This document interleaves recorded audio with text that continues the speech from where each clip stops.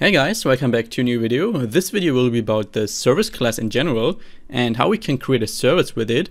If you've watched my last video about intent services, which I really recommend doing before watching this video, then you know that an in intent service is created by inheriting from the class intent service and the class intent service is actually a subclass of the service class which I'm going to talk about in this video. The UI layout for this video is very similar to the UI layout we had in the last video for intent services. I just added an edit text where we can click on this send data button and send data to our running service. So make sure to um, set it up like I did here or similar to that and then we can jump right into the video. So in the last video about intent services, we created this my intent service class here that inherits from intent service and this time we will do the same but we will inherit from just service. So let's go to your um, project package, create a new Kotlin file or class, and I will call it my service.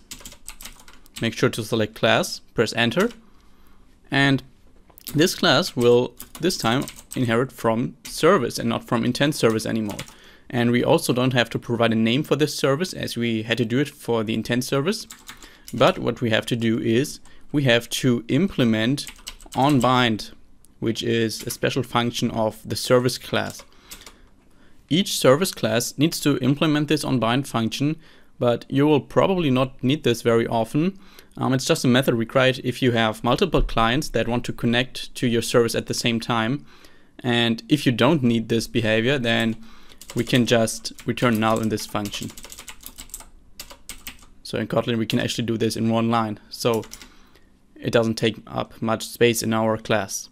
So the main difference between a normal service like we do it, you know, like we have it here, um, and an intent service, which we created in the last video, is that this intent service will automatically run in a separate thread, so it won't block the main thread, but this intent service won't support multi-threading.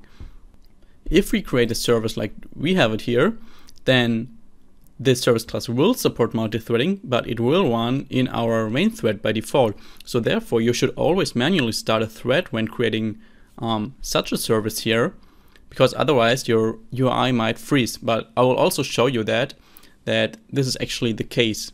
Now let's start by creating a simple tag for our class to properly log um, debug messages. Um, val tag is equal to my service. And then I want to go into the init block. And here we can just uh, print a log message that just tells us that our service was just created and is running now. Um, here we can pass the tag and print um, service is running. A very important function for services is onStart command, which we will implement here. Um, this onStart command function will be executed and it is used to deliver the intent we started this service with. So by overriding this onStart command function, we can get the intent we started the service with and we can also attach data to that intent to communicate from our activity to our service to, for example, send commands and make our service do different, uh, different things in different situations. In this example, I just want to get the, the data string attached to this intent, so attached to the intent we started this service with, because we will attach the string um, we, we will put in this edit text here, and when we click on send data, we will send this string to our running my service, and we will just print the string here to, to, to show you um, how we can actually send data to a running service. So let's start by writing val data string and we get it by writing intent dot get string extra and I will call it extra data. Then we can check if this data string is null. So if if we start this service for the first time, then we won't attach any data string. So in this case, uh, this data string will be null. So we need to make this null check here. And if it is not null, if we go into this let block, then we can simply print this data string.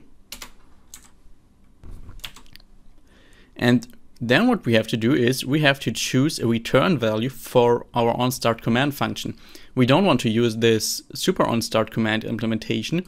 Instead, we want to choose between um, three different values we can return here. And each of those will affect how the system, the Android, the Android system will treat our running service. So in general, our service will keep running once it is started until we stop it by ourselves. But if the Android system um, needs resources, then it might happen that the Android system kills your service and not you will kill your service. And depending on what we return here in onStart command, we'll choose over how the system handles it if it kills your service. So one return value is start not sticky. That means if the, the Android system kills your service, then it won't recreate it if it has resources again. Then we of course have start sticky.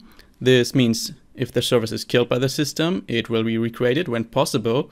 And the last intent, so the last intent um, passed to this onStart command function won't be redelivered. And instead this recreated service will be started with a, a null intent here. So then this will be null. And if we don't want this, if we if you want to redeliver the last intent passed to this service class, then we need to return start redeliver intent. So these are the three return values we can choose from to return in this function.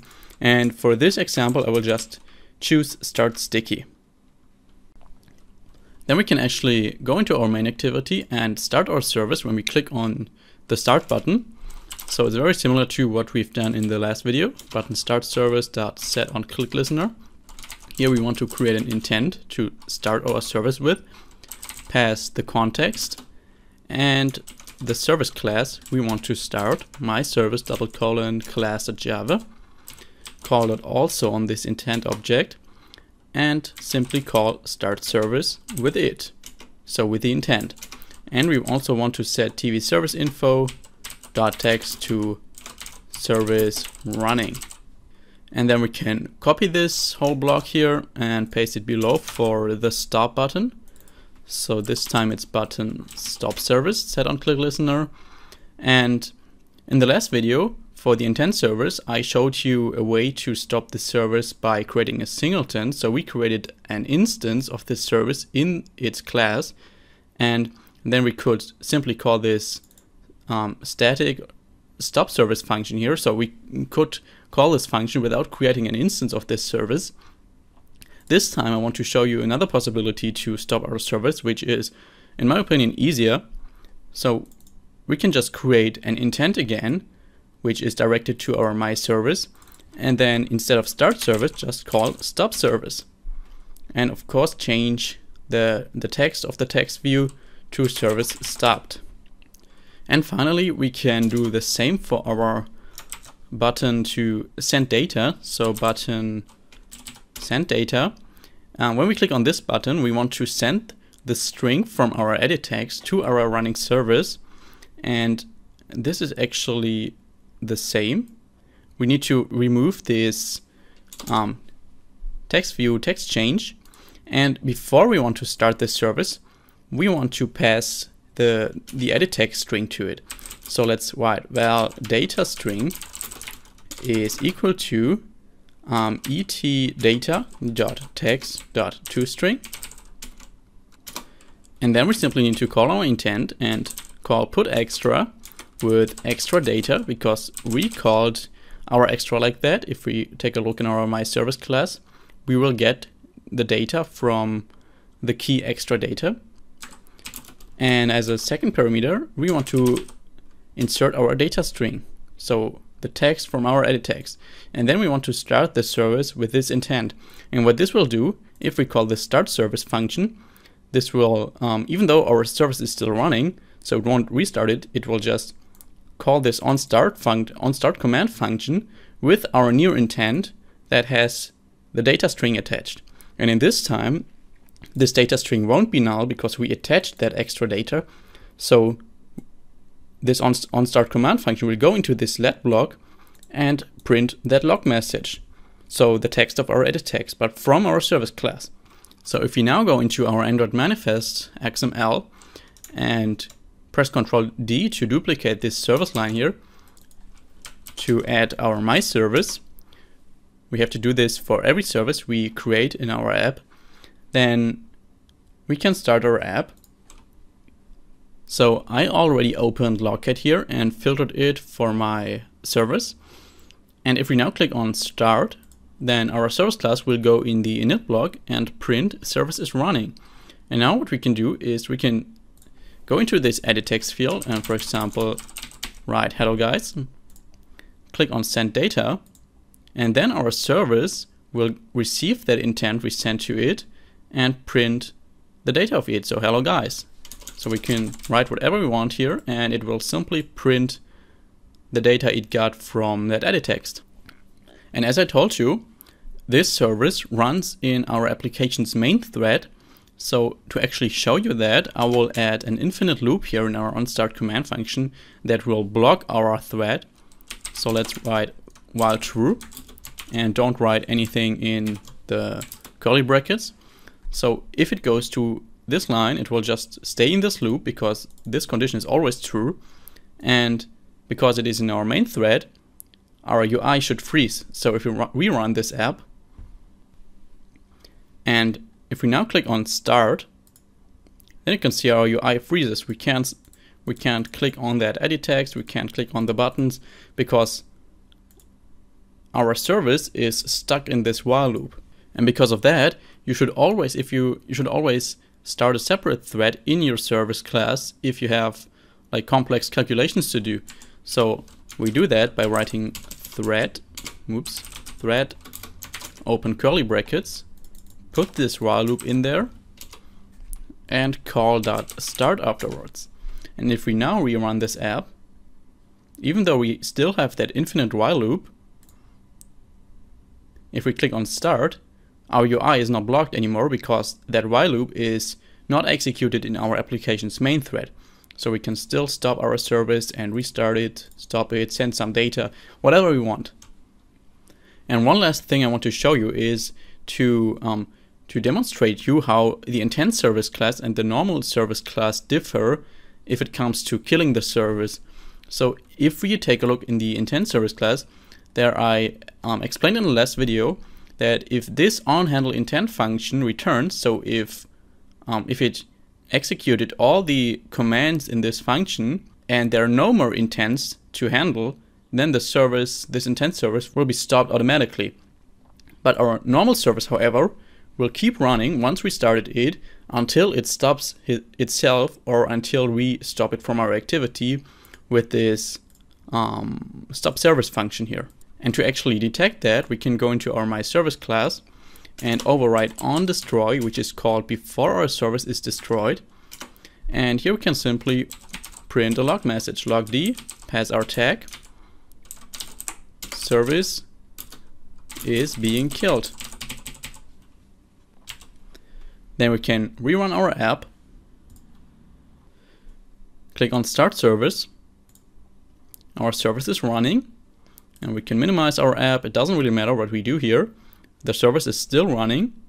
And if we go back into our app, we can still send, send some data to our service. And if we now click on stop service, then it prints our service is being killed. But we have to do it manually or um, the Android system has to do it. So I hope this video was helpful for you. If so, please leave a like and comment below. Also, if there is anything I can improve on, please let me know in the comments. That would be really helpful for me. And have a good day. See you in the next video. Bye bye.